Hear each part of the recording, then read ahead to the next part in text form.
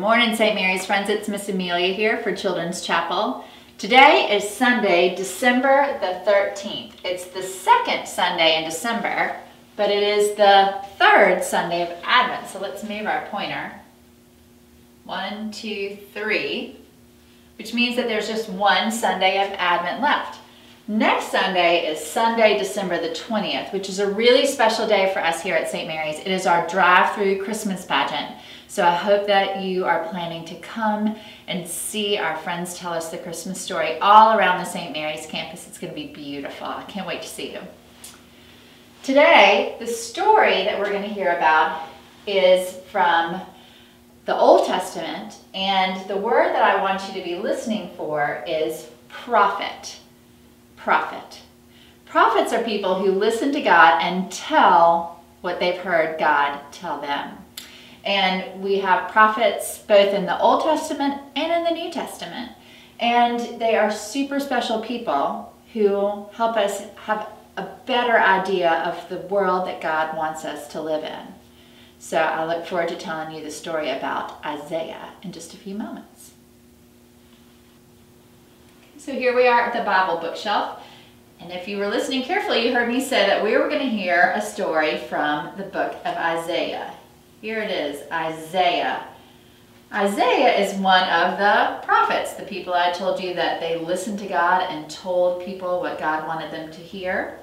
Look at all these books of the prophets from the Old Testament. There's Isaiah and Ezekiel. You might have heard of Daniel or Jonah, Jonah and the whale, I bet you've heard about that prophet. And there are so many wonderful stories contained here in the prophets. But during the season of Advent, we hear a lot in church from the book of Isaiah because Isaiah, the prophet, had a really special vision of what the Son of God would be like. Isaiah had so many wonderful things to tell us about the Son of God, and today's storyteller is going to be telling us about Isaiah's vision of what the Son of God would be like. Now we're going to light our Advent wreath. Do you remember how many Sundays I said there were in, in Advent? One, two, three, four. And today is the third Sunday. Now, for the last two Sundays, we've lit a purple candle. We started with lighting this one. We lit this candle. Today, we're going to light a pink candle. The pink candle is always set aside for the third Sunday of Advent, and it is a time to remind us to be joyful, even while we're waiting to be joyful. So, purple, purple, pink. And then next Sunday, we'll be lighting the last purple candle of the Advent wreath. Again, I hope you guys have been filling up your good deeds mangers at home. Um, there are so many wonderful things you can do to share God's love with the world and make your home and your heart ready for the coming of Jesus. So listen carefully to the storyteller as we hear about the prophet Isaiah and what he has to tell us about what God has in store for all of us.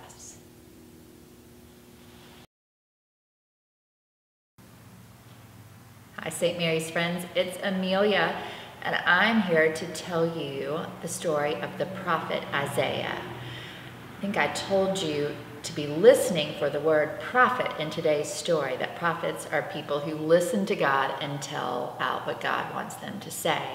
And this is the story of the prophet Isaiah who did exactly that. It comes from the Jesus Storybook Bible. I'm going to read it to you. Operation No More Tears is the name of the chapter.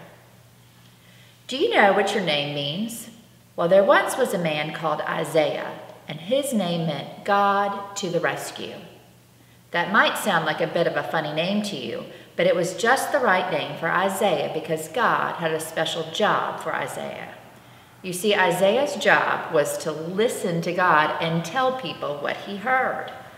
Now, God let Isaiah know a secret. God was going to mend this broken world. He showed Isaiah his secret Operation Rescue Plan, Operation No More Tears. This is the message God gave Isaiah. It was like a letter God wrote to his children. Here's Isaiah writing down things. Dear little flock, you're all wandering away from me, like sheep in an open field.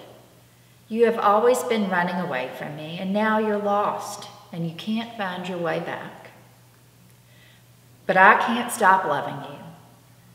I will come to find you, so I am sending you a shepherd to look after you and love you, to carry you home to me. You've been stumbling around like people in a dark room, but into the darkness a bright light will shine. It will chase away all the, all the shadows like sunshine. A little baby will be born, a royal son. His mommy will be a young girl, which means she doesn't have a husband. His name will be Emmanuel, which means God has come to live with us. He is one of King David's children's children's children's children, the Prince of Peace. Yes, someone is going to come and rescue you, but he won't be who anyone expects.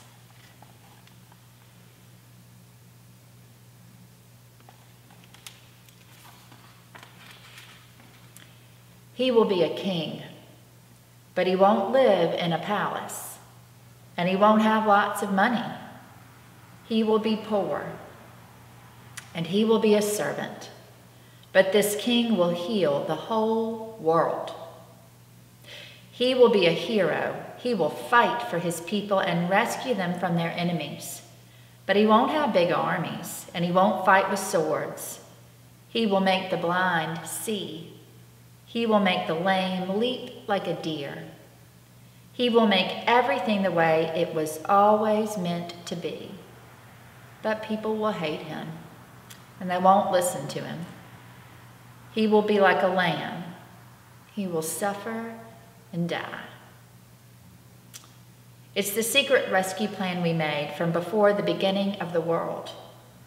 It's the way to get back to you but he won't stay dead. I will make him alive again. And one day, when he comes back to rule forever, the mountains and the trees will dance and sing for joy, and the earth will shout out loud. His fame will fill the whole earth as the waters cover the sea. Everything sad will come untrue. Even death is going to die, and he will wipe away every tear from every eye. Yes, the rescuer will come. Look for him. Watch for him. Wait for him. He will come, I promise.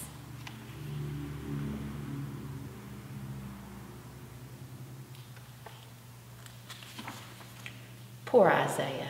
He read God's letter over and over and over to God's people, but no one listened to him at all, ever. They didn't want to hear God's promise. They didn't believe it. Did it sound maybe too good to be true? A story that ends happily ever after? Well, it does sound like a fairy tale, doesn't it? And as everyone will quickly tell you, fairy tales aren't true. Or are they?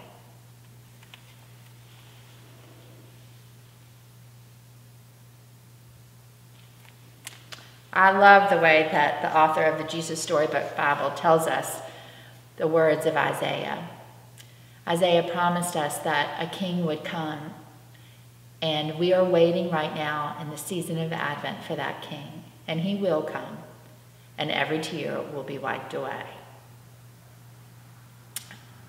I hope that you guys enjoyed the story, and I sure am missing you right now. Y'all take care.